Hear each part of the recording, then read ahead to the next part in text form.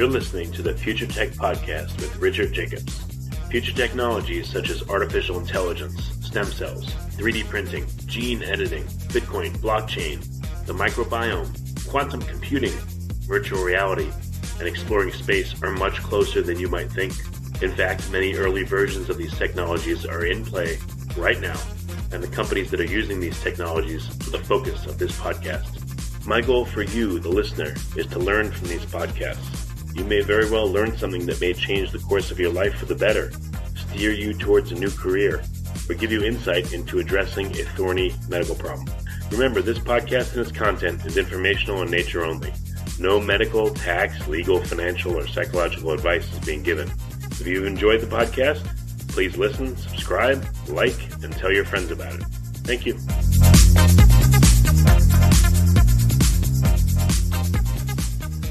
Okay, you're about to hear my interview with Chamindie Punyadeera. So I hope it works. Uh, was very nice, very accommodating. Again, as I mentioned, she just came back from traveling, was jet lagged, but still took the time to speak to me. Chamindie is focused on uh, several different types of cancer, neck and uh, head cancers, glioblastoma, and um, one other kind.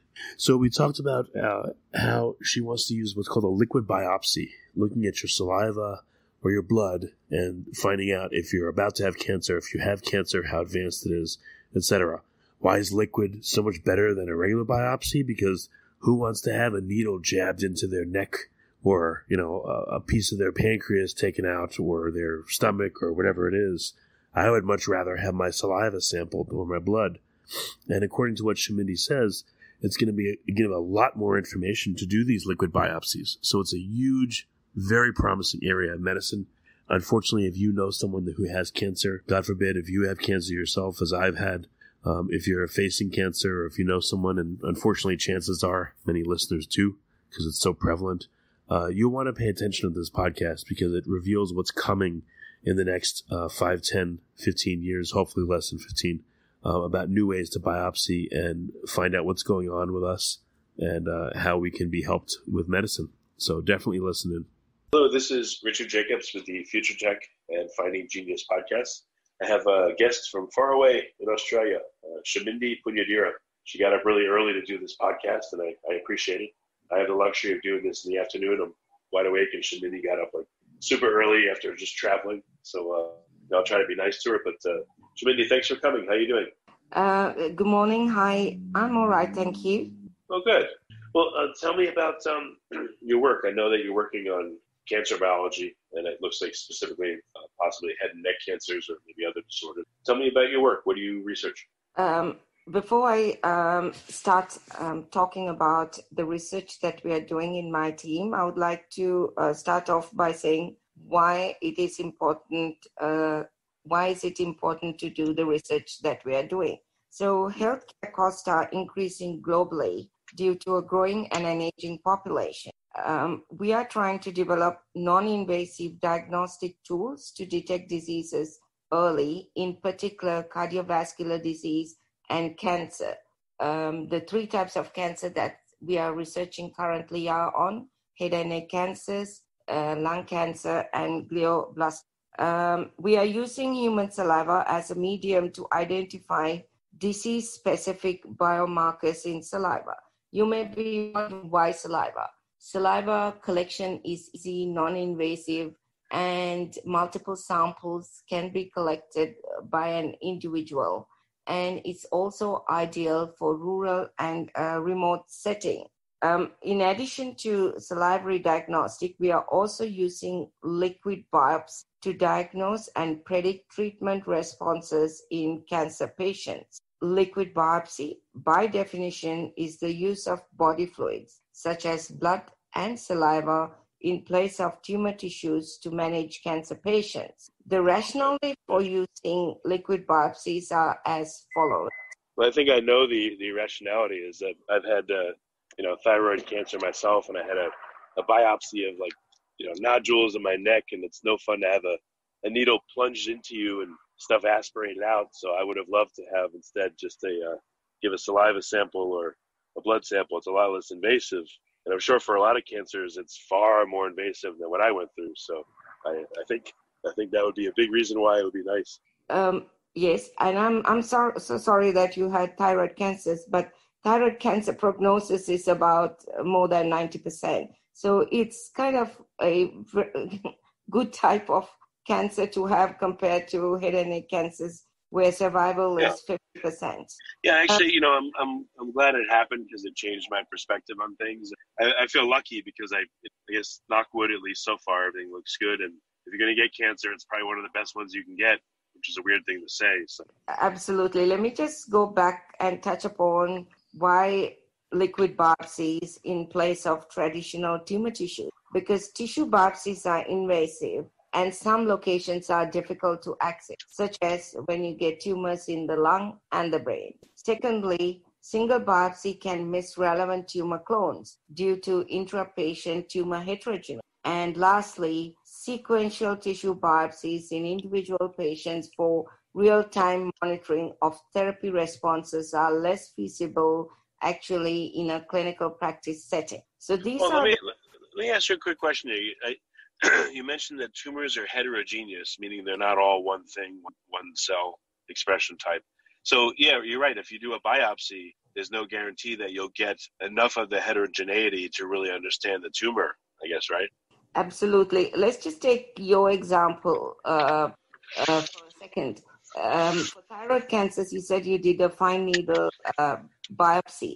How do we know that you actually get the tumor cells?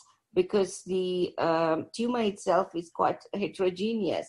You need to do, be doing multiple biopsies to be able to get a pic- actual picture of the tumor tissue itself. But in uh, liquid biopsies, when you are using circulating tumor cells, for instance, these are the cells that are disseminated from both primary and metastatic sites, and they actually represent the actual clone that's giving rise to secondary mets. I guess the trade-off is, um, you know, you may be getting differing signals from I don't know, twenty different. Uh, you know, I- well, I don't know if you want to call them cell types, but in a tumor, you know, what do you call the different cells that make up the heterogeneous tumor?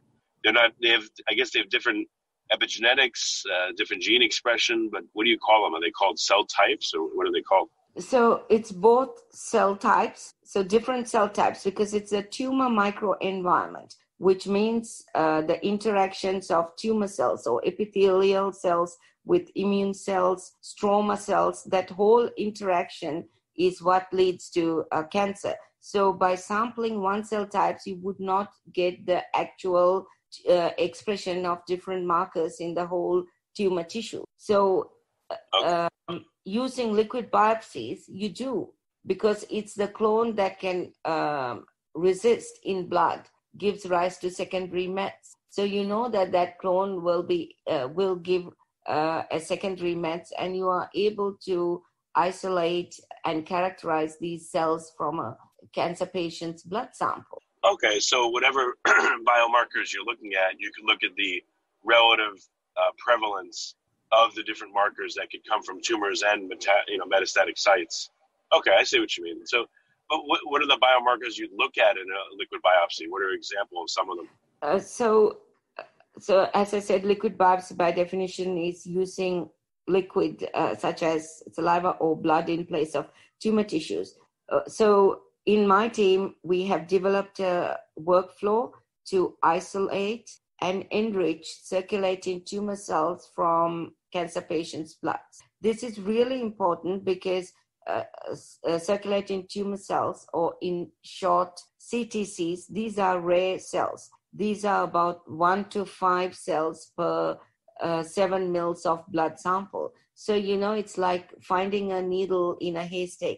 And it's really important the first step, the enrichment step, because you may miss CTCs because these are very, very rare events. But with our workflow, we are quite confident uh, that we can isolate, detect these CTC. And secondly, um, we are also using cell free DNA. So, this is the DNA that's secreted into the blood or saliva through apoptotic events, necrosis. And we are looking at the uh, genetic profile of these uh, cell-free DNA, which is called then ctDNA.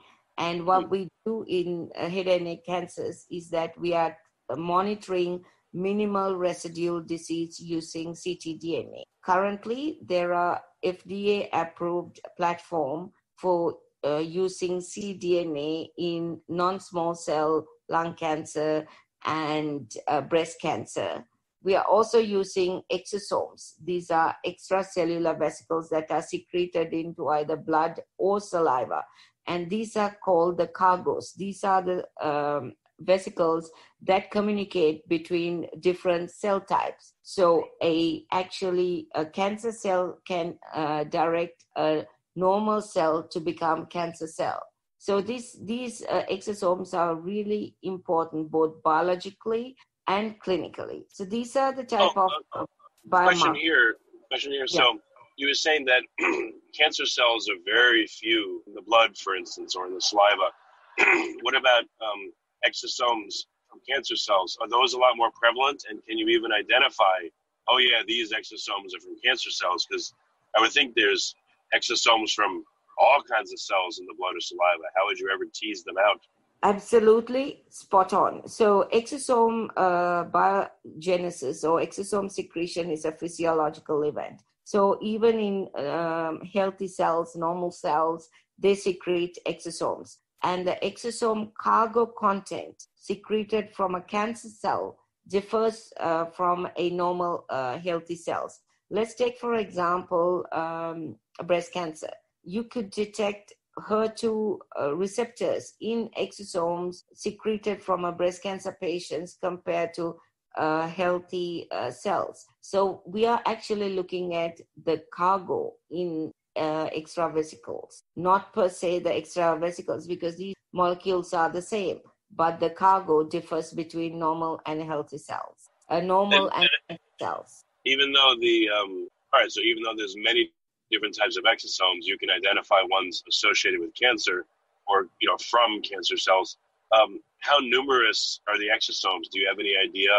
And is it you know if they're very numerous, does that make it easier to gauge their signal and and uh, you know see them versus the tumor cells themselves in blood? So we are just now finalizing a research article on isolation and characterization of exosomes from head and neck cancer uh, patients um, using saliva as a diagnostic fluid. So we do get a large number of, I think, 10 to the 6 particles um, in uh, saliva of cancer patients. And more so, we are using a battery of markers to characterize exosomes. We are using CD uh, 81 as markers, as well as we are using cryo SEMs because exosomes are between 50 nanometers to about 150 nanometers. So when you isolate these uh, exosomes, you have to really characterize them to show that these are extra, uh, these are exosomes and not um,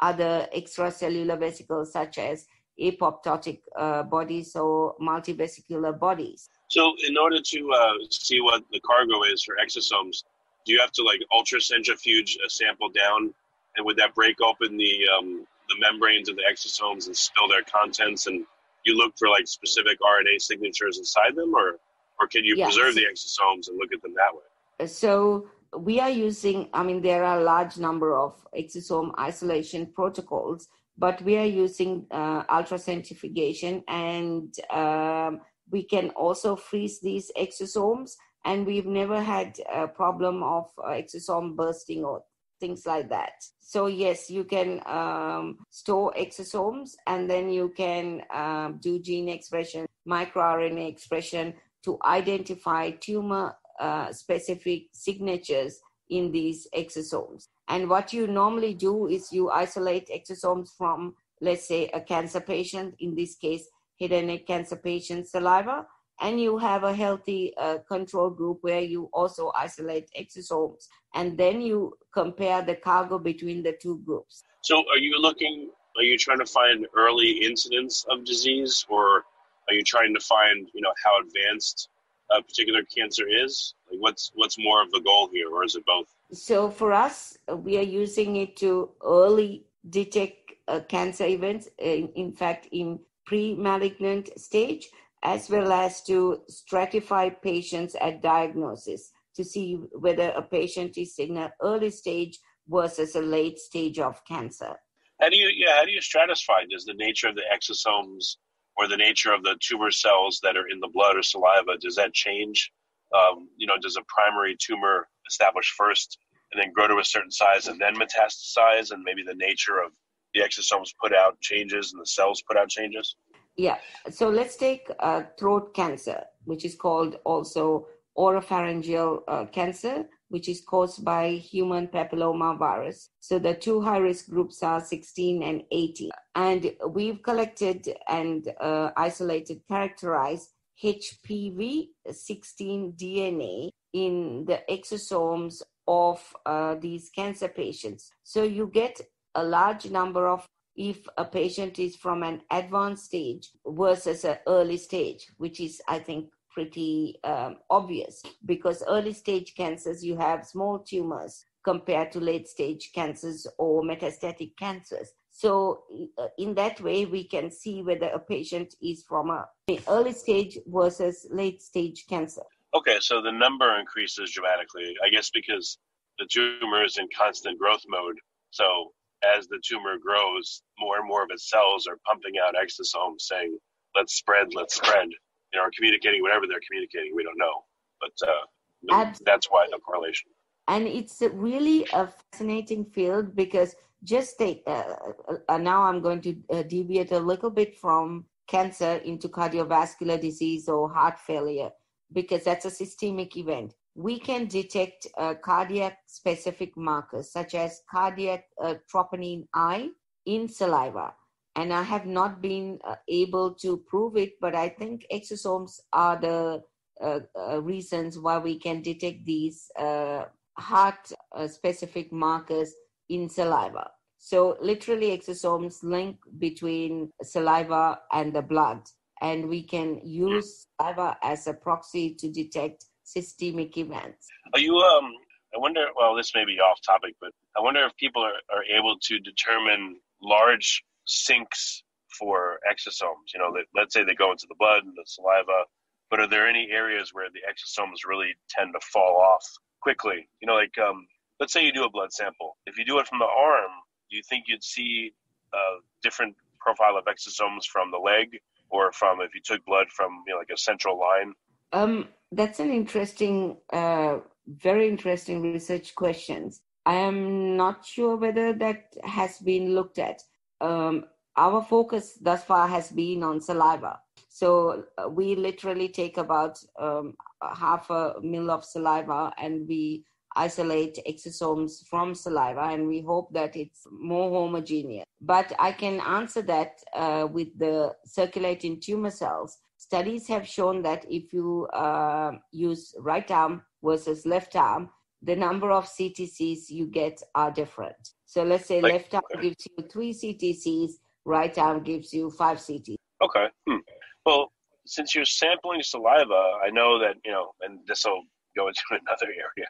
There's different microbial constituents based on, you know, any fluid you sample, blood, you know, saliva, etc. So if you're going to sample saliva, have you tried sampling from different areas in the mouth you know that have different microbial constituents and maybe that changes what you're able to see? I don't know. Maybe not. That might be something to look at. Uh, so there are three main methods of uh, sampling saliva. One is called unstimulated saliva. Like as i as i'm sitting you can tilt your head down and you can pull saliva in a resting mode. That is unstimulated saliva but sadly, most of our cancer patients, um, post treatment, they have impaired salivary glands. So they are unable to secrete in sufficient saliva. In that way, we, we give them a lemon lolly. So that's called acid stimulated uh, saliva. Or we can give them some something like something to chew, and that is called mechanically stimulated saliva concentration of biomolecules are more in unstimulated saliva versus uh, stimulated uh, saliva. And because we are using a whole mouth saliva, which is secreted from the three major glands plus the minor glands, it kind of represents the whole uh, oral cavity. And we are not particularly using uh, or swabbing just on the tongue or at the back of the mouth, but the whole mouth saliva. So let's take the microbial uh, compositions, they do differ. There have been studies where they have sampled different parts of the oral cavity and they find different bugs. Uh, I wouldn't call different microbials living in the oral cavity. But uh, we are targeting human specific uh, gene expressions and not microbial specific gene expression. So the primers that we design are human specific. So you really are not amplifying the microbial communities, but you are looking at the expression changes in human cells, if that makes sense. Okay, yeah, I gotcha. Hmm. So, um, interesting. What in terms of uh, well, I didn't ask you about the heart risk factors. What can you see by looking at uh, saliva about the heart and the cardiovascular system? Like, what kind of things can you look for? What kind of markers? What does that tell you? Yeah. So we are working on uh, heart failure because it's uh, heart failure by definition is the inability of the heart to pump sufficient blood to the body and there are over 38 million people globally diagnosed with heart failure and uh, sadly 50% of them die within 5 years we have been so when we started this program about 10 years ago what we started off with can, the premise was that can we detect current diagnostic uh, uh, biomarkers such as NT-proBNP in saliva of uh, heart failure patients. And yes, we can detect uh, NT-proBNP, which is a current blood-based diagnostic uh, biomarker in saliva. But the concentration ranges are low in saliva. In saliva, you get them in picogram per mil ranges, and as such, you need highly sensitive immunoassays to be able to pick the low concentrations in saliva. I did mention about the cardiac troponin I, and we also saw a correlation between cardiac troponin I levels in blood and saliva, which indicates that what is in the blood is what's getting filtered into saliva. So we could use cardiac troponin I as a marker in saliva. And in addition to that, we've also done a discovery approach uh, where we have identified, uh, where we have used mass spectrometry to identify and validate uh, a panel of protein to detect heart failure, which we have filed a patent and which has hmm. now been licensed to an Australian based startup company. Okay, interesting. Well, why do you think that you're able to see markers in blood and saliva? But is it that the heart is in a stress state and therefore it's communicating what's going on with it, or is the heart always communicating through the use of, let's say, exosomes about its state? So, if we look at, if we take salivary glands, these have to be functional. So, they have capillary networks. And studies have shown that biomolecules can move from blood into saliva by uh, uh, diffusion, um, active transport, there are different mechanisms how molecules get transported across the blood endothelium into the salivary acini cell. These are the salivary gland cells. So there's continuous flux or continuous traffic between blood and saliva. And these molecules continuously move either side. And we can actually capture these uh, transportation of these molecules at a certain time when you uh, sample um, saliva. And uh, I'll give you an example. Um, we have, so let's go back to our oropharyngeal cancer case, and we have been able to detect HPV 16 DNA in salivary oral rinse samples from cancer patients. And when you remove the tumor, salivary oral um, HPV DNA content uh, is decreased, which means that this is a good marker to diagnose and predict a treatment response in oropharyngeal cancer patients. Mm, okay, that makes sense. What what other nuances? You know, so you want we all want early detection, which would be great, but what about the overall functioning of someone's cardiovascular system? Are you looking at all at healthy people, maybe looking at them over time or under different conditions, stress conditions, and seeing what shows up in the saliva or blood? You know, again, how much uh, broadcasting of the state of the system of the body, you know, the, again, what the heart's doing or what the cardiovascular system's doing is happening on a regular basis. If you looked at that baseline? So um, we have actually uh, collect, uh, uh collected um, about 800 uh, samples from as part of one of the largest longitudinal trial clinical trials conducted in Australia, which is called uh, Screen Heart Failure Program, where um, these um, where Monash has been very kind enough to um, collect saliva samples from high risk individuals. So these are uh, people at risk of developing heart failure. These could be people with type 2 diabetes, obesity, people who have previously had heart attacks. Um, and what we now want to do is to compare the uh, saliva uh, markers or proteins in this high risk group to control group and see whether we can discriminate these two groups. If we can discriminate these two groups with a high sensitivity and specificity, we have a marker to start screening within a, uh, a population. Mm. But uh, right, we, so, yeah, so we have collected the samples, but sadly, I haven't been able to get research funding. So I have kind of uh, parked that project until I get funding to start uh, looking at uh, the expression changes between these two cohorts of uh, uh, people. But I guess the good thing you mentioned is that if it's exosomes, they're stable and they can be frozen. So perhaps long term they can be stored, and then when you're ready, look at them.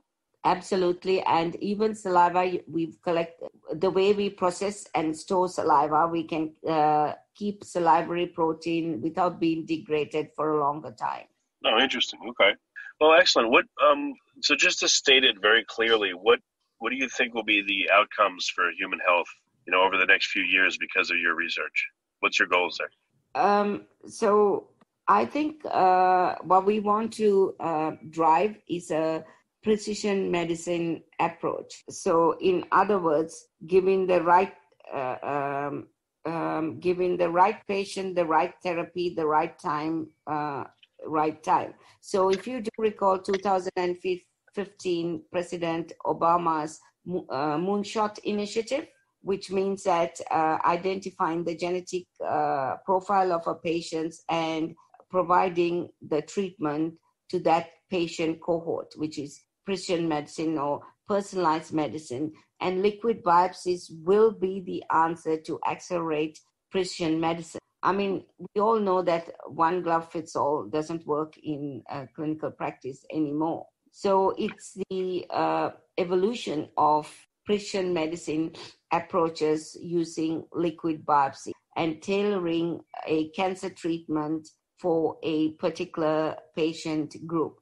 Uh, just uh, take an example of the poster child of uh, personalized medicine is um, Herceptin drug Herceptin, which is given to 20% of breast cancer patients who have overexpression of HER2. So hmm. something like that would be possible. I am very confident for head and neck and in lung cancer they are already uh, doing that type of um, work where patients with um, let's say egfr mutations they get tyrosine kinase uh, inhibitors so you can stratify patient groups and deliver treatment based on their genetic profile.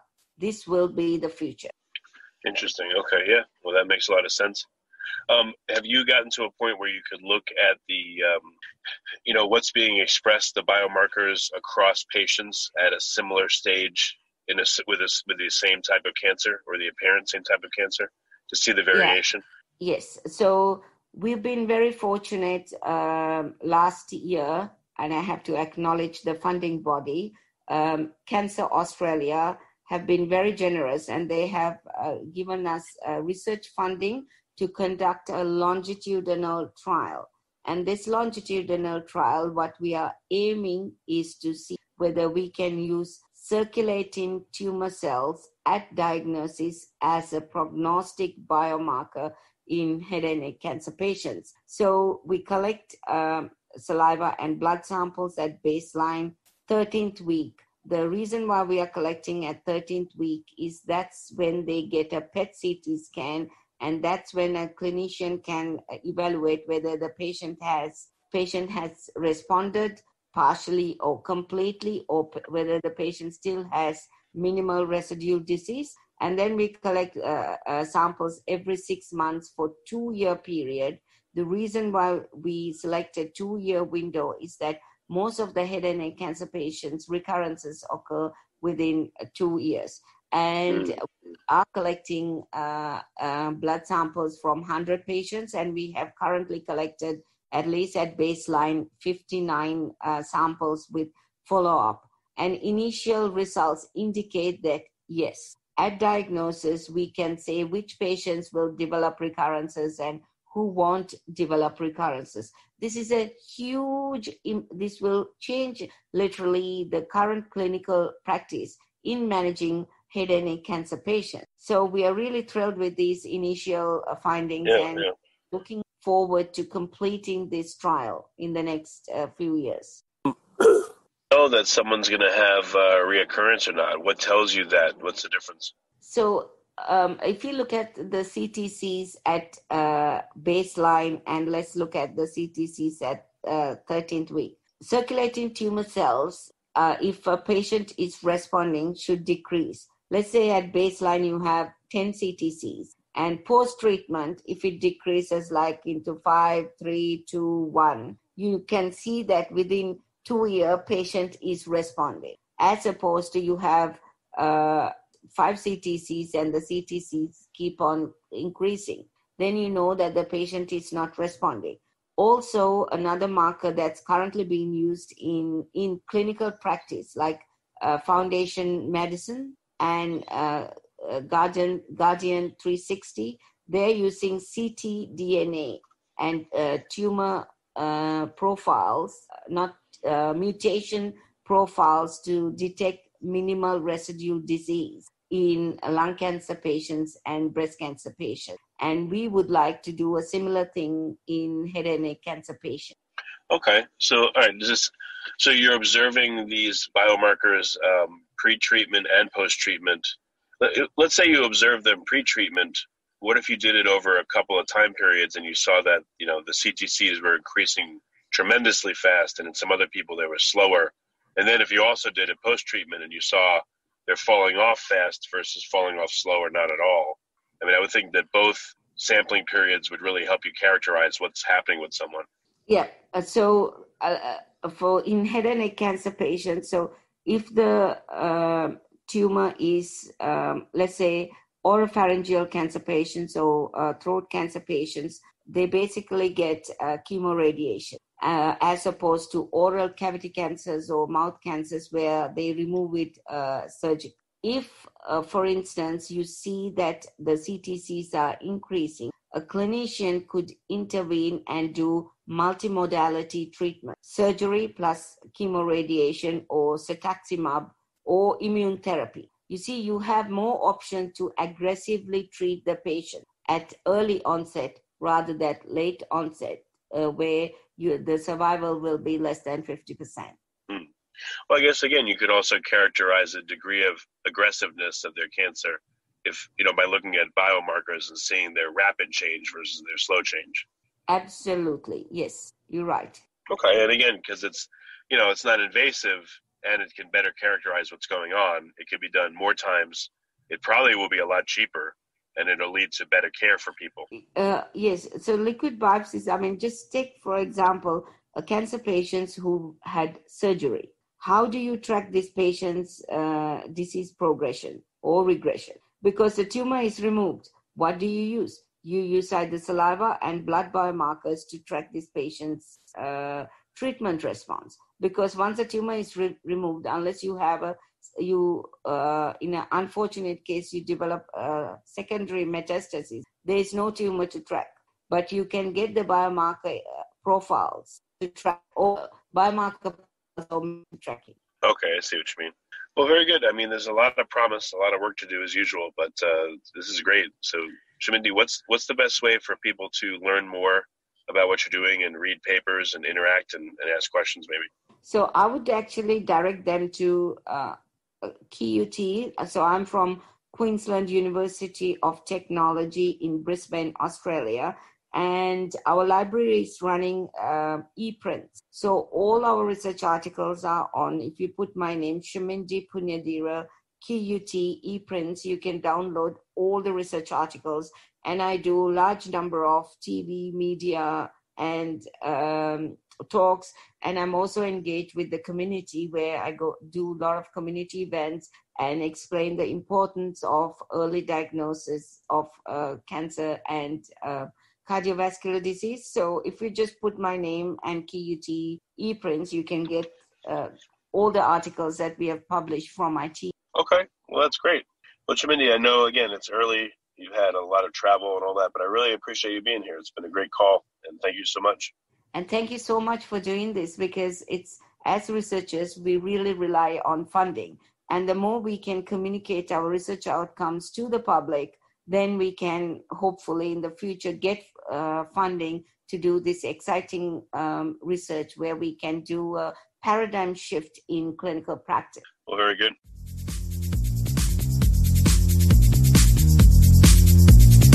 You're listening to the Future Tech Podcast with Richard Jacobs. Future technologies such as artificial intelligence, stem cells, 3D printing, gene editing, Bitcoin, blockchain, the microbiome, quantum computing, virtual reality, and exploring space are much closer than you might think. In fact, many early versions of these technologies are in play right now, and the companies that are using these technologies are the focus of this podcast. My goal for you, the listener, is to learn from these podcasts you may very well learn something that may change the course of your life for the better, steer you towards a new career, or give you insight into addressing a thorny medical problem. Remember, this podcast and its content is informational in nature only. No medical, tax, legal, financial, or psychological advice is being given. If you've enjoyed the podcast, please listen, subscribe, like, and tell your friends about it. Thank you.